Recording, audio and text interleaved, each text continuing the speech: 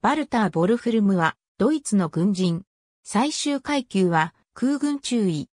第二次世界大戦では、総撃墜数137機を記録したエースパイロットであり、その先行から騎士鉄十字章を受章した。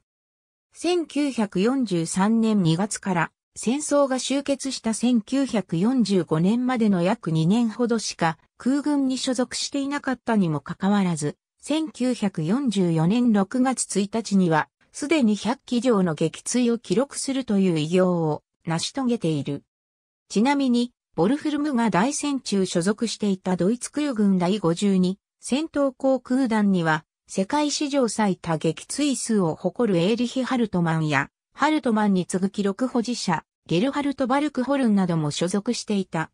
第二次世界大戦終結後は、極技飛行のパイロットとして活躍し、1962年のドイツ選手権では優勝を収めている。